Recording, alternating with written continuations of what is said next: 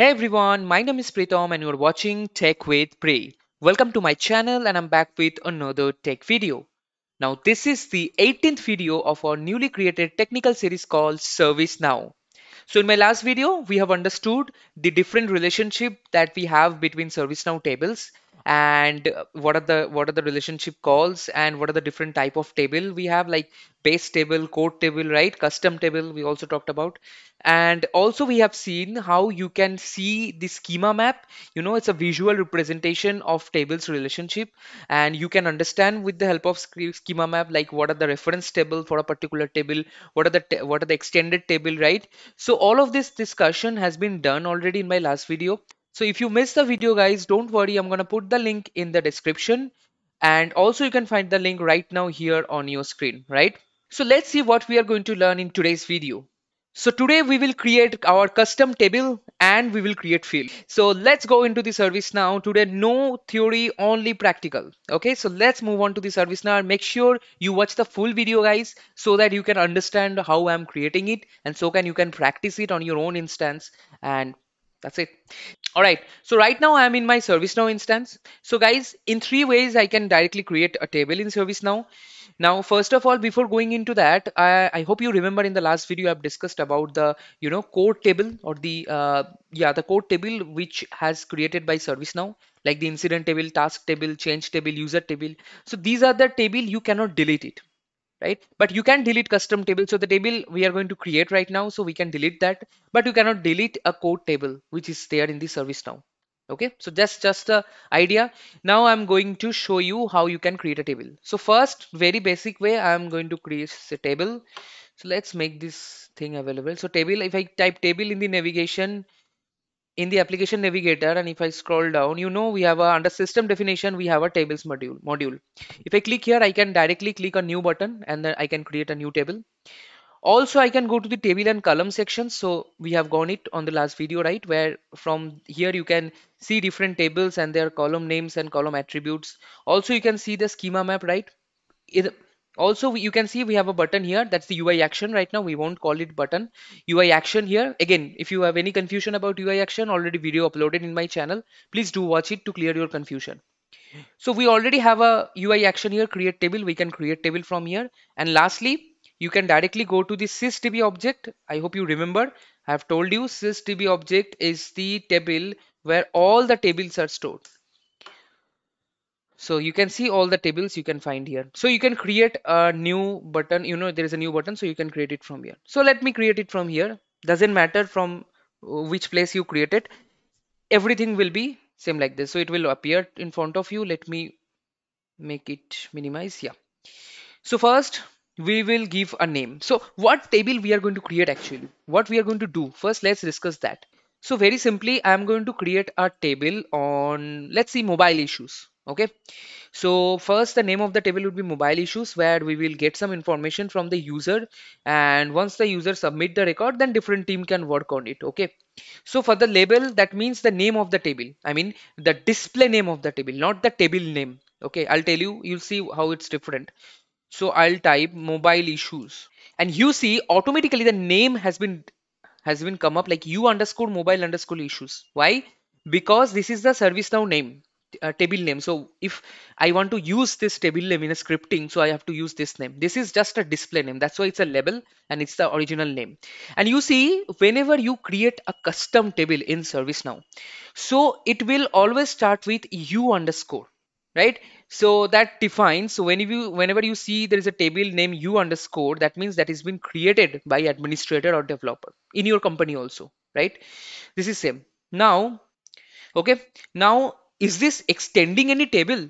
So like i told you the definition of extend table so if i extend any other table so i can use those properties those fields uh, in my table mobile issues. So right now i'm not going to do that. However i'll just show you uh, with the help of extend table how it is happening. So i'll create another table and i'll show you while explaining to you dictionary overrides. So uh, in a few minutes. So for the time being i'm not extending anything. Create module. So i'm creating a module. Module means here it will show. That's the module uh, so which module I'm gonna add? So we have self-service here, we have activity subscription and many module we have, right?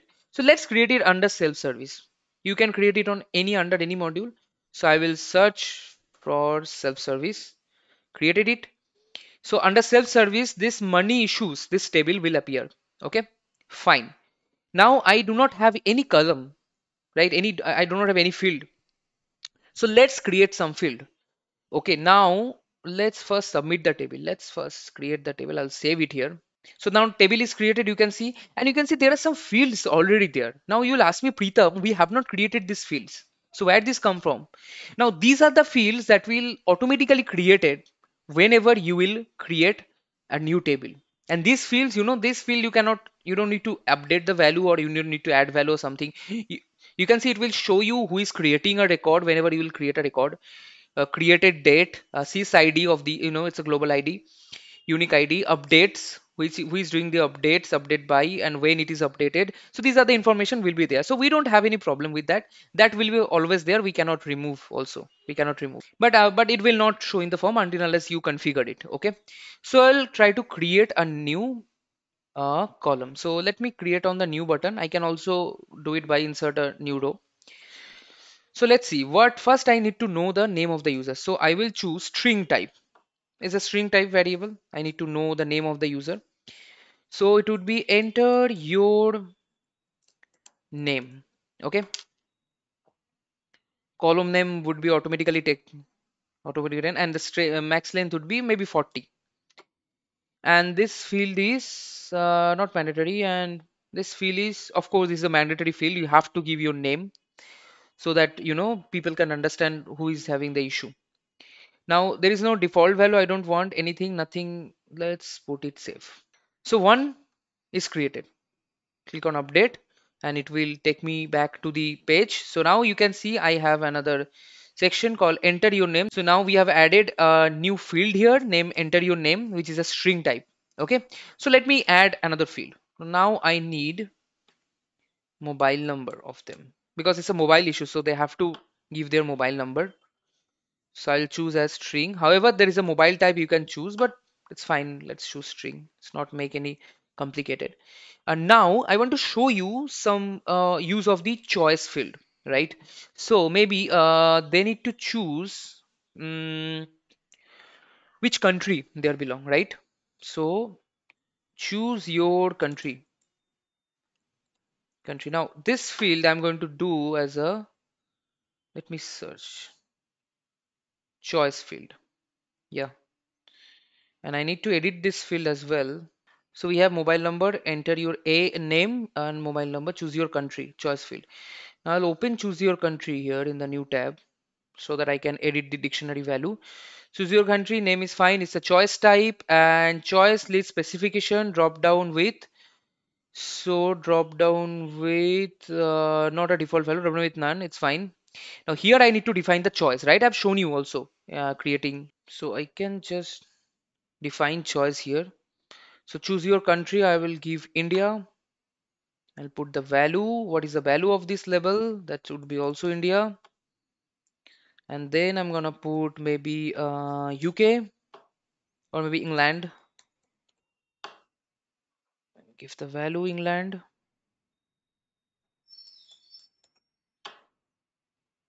Okay, and let's put another Australia maybe. Australia. Let's add uh, Canada.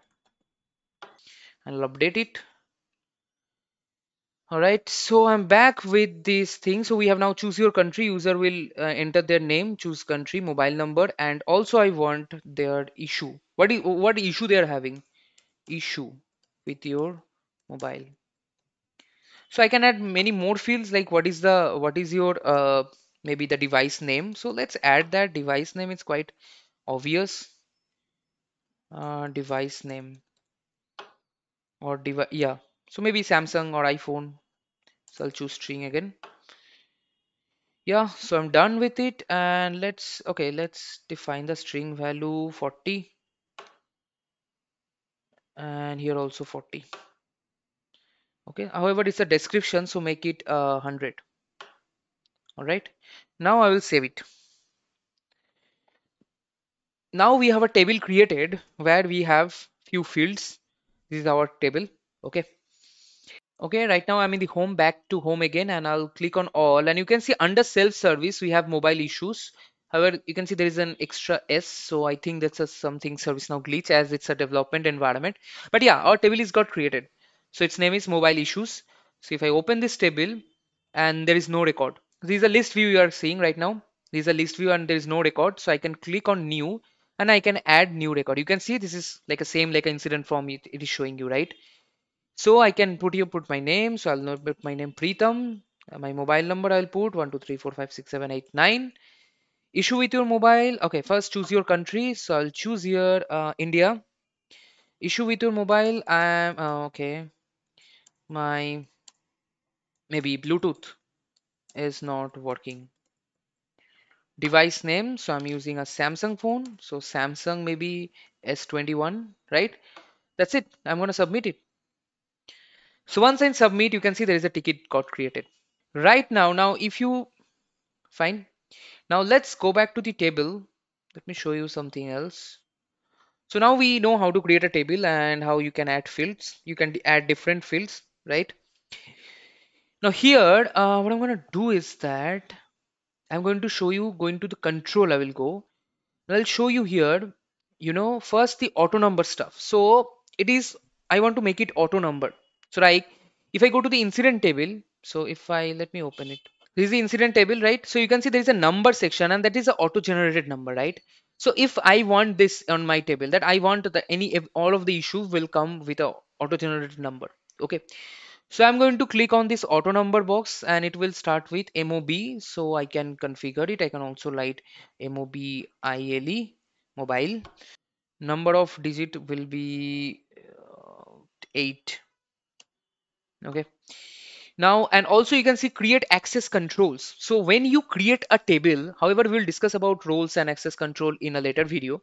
But and let me just tell you, like whenever you create a table, also the roles got created.